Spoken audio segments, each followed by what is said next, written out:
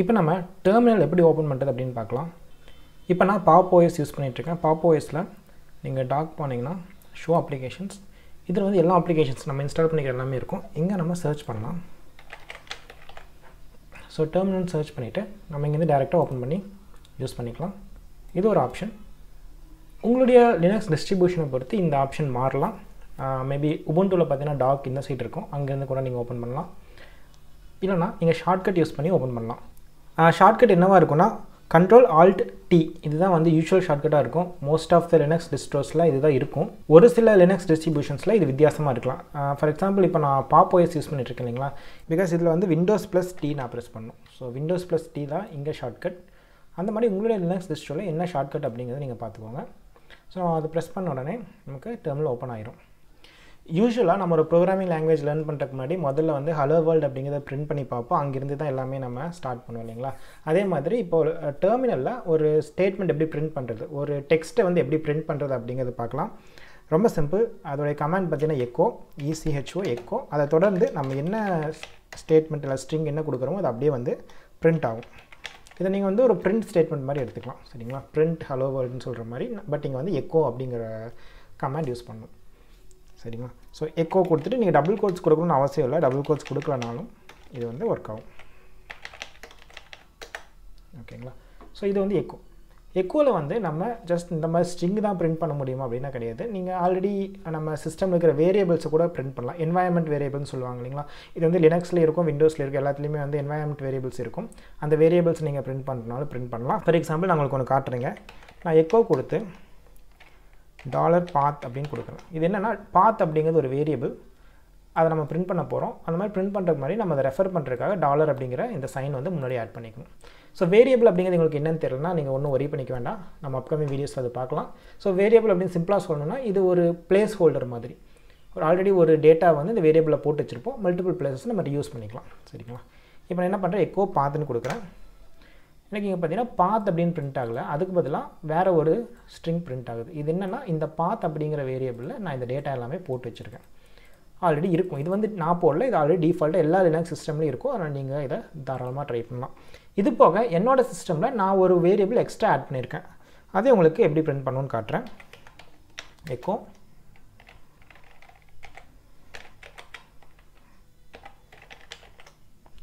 Echo Java home நான் கொடுத்துருக்கேன். இது வந்து பார்த்தீங்கன்னா யூசர் டிஃபைன்டு வேரியபிள் பார்த்துங்கிறத நான் சொன்ன மாதிரி லினக்ஸில் எல்லாத்துலேயுமே டிஃபால்ட்டாக இருக்கும். ஜாவா ஹோம்ங்கிறது யூசர் டிஃபைன் நான் புதுசாக ஒன்று க்ரியேட் பண்ணுறது ஸோ இதுவும் வந்து இங்கே பிரிண்ட் ஆகுது. ஸோ எக்கோ கமாண்ட் வந்து நம்ம இந்த மாதிரி யூஸ் பண்ணிக்கலாம்.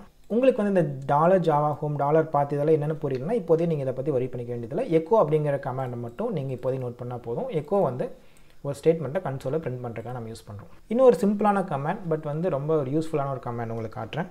என்னென்னு பார்த்தீங்கன்னா சிஏஎல் இது வந்து கேலண்டர் கேலண்டர் அப்படிங்கிறத ஷார்ட்டாக சிஏஎல்னு சொல்கிறோம் ஸோ சிஏஎல் பார்த்தீங்கன்னா நம்மளுடைய கேலண்டர் இந்த மந்த்துக்கான கேலண்டரை வந்து நமக்கு இங்கே டிஸ்பிளே பண்ணுது. இப்போ அக்டோபர் மந்தில் இருக்கும். ஸோ அக்டோபர் மந்தோட கேலண்டர் டிஸ்பிளே பண்ணுது. ஸோ நீங்கள் in case CIL two thousand twenty one எப்படி கொடுத்தீங்கன்னா இந்த கம்ப்ளீட் இயரோட கேலண்டர் வந்து இப்படியே பிரிண்ட் ஆகும் நம்மளுக்கு. டூ தௌசண்ட் டுவெண்ட்டி ஒனோட கேலண்டர் அப்படியே பிரிண்ட் ஆகும். இங்கே இருக்கிற டேட்டா நான் ஒரு டெக்ஸ்ட் ஃபைலில் சேவ் பண்ணணும். ஃபார் எக்ஸாம்பிள் டெஸ்க்டாப்பில் வந்து ஒரு டெக்ஸ்ட் ஃபைலில் இங்கே இருக்கிறது அப்படியே நான் சேவ் பண்ணுறது கேலண்டர் அப்படின்னா நம்ம என்ன பண்ணுவோம்? அதை ஃபஸ்ட்டு காப்பி பண்ணுவோம். காப்பி பண்ணிவிட்டு நம்ம ஒரு எடிட்டர் ஓப்பன் பண்ணுவோம். எடிட்டர் ஓப்பன் பண்ணிவிட்டு இதை அப்படியே பேஸ்ட் பண்ணிவிட்டு சேவ் எங்கே சேவ் பண்ண போகிறோம் டெஸ்க்டாப்பில் சேவ் பண்ண போகிறோம் கேல் அப்படின்னு கேல் டாட் டிஎக்ஸ்டின்னு போட்டுக்கலாம். இப்போ நம்ம இதை சேவ் பண்ணிட்டோம். சரிங்களா? இதை க்ளோஸ் பண்ணிடுறேன். ஸோ அந்த டேட்டா அப்படியே வந்து இங்கே சேவ் ஆகிருக்கு இதோட ஃபைல் நேம் பார்த்தீங்கன்னா கேல் டாட் டிஎக்ஸ்டி அப்படின்னு. பட் இந்த ப்ராசஸ் வந்து பார்த்தீங்கன்னா சுற்றி வச்சு பண்ணுற மாதிரி இருக்குது. இங்கேருந்து காப்பி பண்ணுறோம் அப்புறம் ஒரு எடிட்டர் ஓப்பன் பண்ணுறோம் எடிட்டரில் போயிட்டு இந்த டெக்ஸ்ட்டை பேஸ்ட் பண்ணிவிட்டு அதுக்கப்புறம் சேவ் பண்ணுறோம் இது ரொம்ப சிம்பிளாக ஒரே லைனில் வந்து நம்ம டெர்மினல்லேருந்து பண்ணிடலாம். எப்படின்னு பார்த்தீங்கன்னா cal two thousand twenty one so இந்த கமெண்ட் கொடுத்தோம்னா நமக்கு இந்த கேலண்டர் டேட்டா அப்படியே டிஸ்பிளே ஆகுங்க. அதை ஆல்ரெடி பார்த்துருக்கோம். இப்போ இந்த அவுட்புட் இங்கே வர அவுட்புட்டை அப்படியே ஒரு ஃபைலில் சேவ் பண்ணணும் அப்படின்னா இதை தொடர்ந்து ரெண்டு ஏரோ ஒரு ஃபைல் நேம் இது நம்ம என்ன வச்சுக்கோன்னா கேல் டூ டாட் டிஎக்ஸ்டின்னு வச்சுக்கலாம். சரிங்களா? ஆல்ரெடி கேல் டாட் டெக்ஸ்டி வச்சுருக்கோம். இதை கேல் டூ டாட் டெக்ஸ்டி வச்சுக்கலாம். நான் என்ட்ரி கொடுக்குறேன். இப்போ ஃபைல் க்ரியேட் ஆயிடுச்சு பட் என்ன இங்கே ஃபைல் வரலன்னு கேட்டிங்கன்னா இப்போ நம்ம எந்த டேரக்டரியிலேருந்து ஒர்க் பண்ணிட்டு இருக்கோமோ அந்த டேரக்டரியில் க்ரியேட் ஆகிருக்கும் ஸோ நம்ம ஒன்று பண்ணுவோம். இதை நம்ம இப்போ டெஸ்க்டாப்பில் க்ரியேட் பண்ணுவோம்.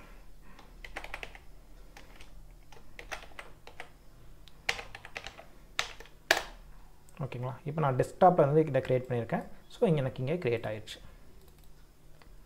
பார்த்தீங்களா ஜஸ்ட் நமக்கு இங்கே என்ன டேட்டா பிரிண்ட் ஆகிருக்கோ அது அப்படியே வந்து ஒரு ஃபைலில் வந்து ஆட்டோமேட்டிக்காக சேவ் ஆயிடுச்சு நான் எந்த ஒரு எடிட்டரோ எதுவும் நான் ஓப்பன் பண்ணல. நான் இதை ரெண்டையுமே டெலீட் பண்ணிடுறேன் இப்போ.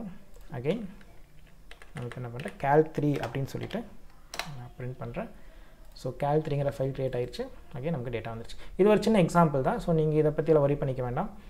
இந்த டபுள் ஏரோ மார்க் எதுக்கு? அப்புறம் டெஸ்க்டாப் அப்படிங்கிறது இந்த ஃபைல் பாத் நேவிகேஷன் இதெல்லாமே அப்கமிங் வீடியோஸில் டீட்டெயில்டாக பார்க்க போகிறோம் இப்போதைக்கு வந்து நான் உங்களுக்கு ஜஸ்ட் டெர்மினலில் என்னெல்லாம் பண்ணலாம் எவ்வளோ பவர்ஃபுல் அப்படிங்கிறத ஒரு டெமோ மாதிரி தான் காட்டிக்கிட்டு இருக்கேன் சரிங்களா? ஓகே இப்போ நம்ம நிறையா கமாண்டில் எக்ஸிக்யூட் பண்ணிட்டோம் டெர்மினலில் இப்போ கசகசன் இருக்குது இது எல்லாத்தையும் கிளியர் பண்ணும் டெர்மினல் வந்து எனக்கு ஃப்ரெஷ்ஷாக வேணும் அப்படின்னா ஜஸ்ட் சிஎல்இஏஆர் கிளியர் கொடுத்தீங்கன்னா டெர்மினல் கிளியர் ஆயிரும். இன்கேஸ் இப்போ நான் ப்ரீவியஸாக எக்ஸிக்யூட் பண்ண பண்ண ஒரு கமாண்டுக்கு திரும்ப போகணும் அப்படின்னா நீங்கள் மறுபடியும் கீபோர்டில் டைப் பண்ண வேண்டியதில்லை. அதுக்கு மேலே நீங்கள் என்ன பண்ணலாம்னா உங்களோட கீபோர்டில் ஏரோ கேஸ் இருக்கு இல்லைங்களா? அப் ஏரோ டவுன் ஏரோ இதை நீங்கள் ப்ரெஸ் பண்ணும்போது நீங்கள் ப்ரீவியஸாக எக்ஸிக்யூட் பண்ண கமாண்டுக்கு அது அப்படியே ஒன்றா சேஞ்ச் ஆகிட்டே இருக்கும். பார்த்தீங்களா இப்போ எக்கோ ஜாவா ஹோம் போயிடுச்சு. நான் என்ட்ரு கொடுத்தேன்னா அது எக்ஸிக்யூட் ஆகும். அதே மாதிரி நான் வேறு ஏதோ ஒரு கமாண்ட் கேல் ஸோ நம்ம இந்த கீபோர்ட் ஏரோ கேஸ் வச்சு நம்ம நேவிகேட் பண்ணி ப்ரீவியஸ் கமாண்ட்ஸ் எல்லாத்துக்குமே போய்க்கலாம். அதை நான் கிளியர் பண்ணிக்கிறேன். ஓகே இப்போ நான் ஒரு நூறு கமாண்ட் இதுக்கு மேலே எக்ஸிக்யூட் பண்ணியிருப்பேன்.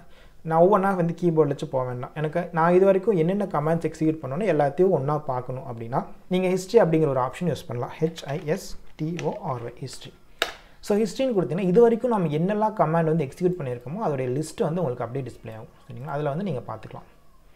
ஓகே இப்போ இந்த ஹிஸ்ட்ரியில் ஏதாவது ஒரு கமாண்ட் நீங்கள் எக்ஸிக்யூட் பண்ணணும் அப்படின்னா ஃபார் எக்ஸாம்பிள் ஃபோர்டீன்த் கமாண்ட் நீங்கள் எக்ஸிக்யூட் பண்ணணும் அப்படின்னா நீங்கள் அகெயின் சிஐஎல்னு டைப் பண்ண வேண்டாம். எக்ஸ்க்ளமேஷன் மார்க் ஃபோர்டீன் இதில் லைன் நம்பர் ப்ளஸ் கமாண்ட் எல்லாமே டிஸ்பிளே ஆகுது. ஸோ நீங்கள் எக்ஸ்க்ளமேஷன் மார்க் அந்த லைன் நம்பர் மட்டும் கொடுத்தீங்கன்னா ஆட்டோமேட்டிக்காக ஹிஸ்ட்ரியில் வந்து ஃபோர்டீன்த் கமாண்ட் எதுவோ அது வந்து எக்ஸிக்யூட் ஆகிடும் உங்களுக்கு இன்னொரு கமாண்ட் காட்டுறேன். ஓகே எக்கோ பார்த்து நான் பண்ணியிருந்தே பன்னெண்டாவது லைனில் இருக்காது ஸோ நான் என்ன பண்ணுறேன் எக்ஸ்க்ளமேஷன் மார்க் டுவெல் கொடுத்தோன்னா அந்த பாத் வந்து எக்கோ எக்கோ பாத் எக்ஸிக்யூட் ஆகிருக்கு சரிங்களா? ஸோ இது வந்து ஒரு ஷார்ட்கட் நீங்கள் யூஸ் பண்ணிக்கலாம். அதே மாதிரி ஜஸ்ட் உங்களோட ப்ரீவியஸ் கமாண்டை மாதிரி எக்ஸிக்யூட் பண்ணணும். எனக்கு இந்த லைன் நம்பர்லாம் வேணாம். நான் இதுக்கு முன்னாடி எக்ஸிக்யூட் பண்ணல அப்படியே பண்ணால் ஜஸ்ட் ஒன்ஸ் நீங்கள் அப்பேரோ ப்ரெஸ் பண்ணிவிட்டு நீங்கள் பண்ணலாம். அப்படி இல்லைன்னா டபுள் எக்ஸ்க்ளமேஷன் போட்டு நீங்கள் என்ட்ரு கொடுத்தாலும் இதுக்கு முன்னாடி நீங்கள் என்ன கமாண்ட் எக்ஸிக்யூட் பண்ணீங்களோ அது உங்களுக்கு எக்ஸிக்யூட் ஆகும். இதெல்லாமே ஷார்ட்கட்ஸ் அங்கே நான் கிளியர் பண்ணிக்கிறேன். ஓகே ஒன்ஸ் அகே நம்ம ஹிஸ்ட்ரி பார்ப்போமே. ஹிஸ்ட்ரியில் வந்து நிறைய கமெண்ட்ஸ் இருக்குது இன்கேஸ் உங்களுக்கு இந்த ஹிஸ்ட்ரி எல்லாம் வேண்டாம். எனக்கு இந்த ஹிஸ்ட்ரி நிறையா வந்துருச்சு. அதனால் நான் ஹிஸ்ட்ரி எல்லாம் கிளியர் பண்ணோம் அப்படின்னா நீங்கள் என்ன பண்ணலாம்? History space hyphen C hyphen சினா clear history hyphen C கொடுத்து என்ட்ரு கொடுத்தீங்கன்னா ஜஸ்ட் உங்கள் ஹிஸ்ட்ரி எல்லாமே கிளியர் ஆயிரும்.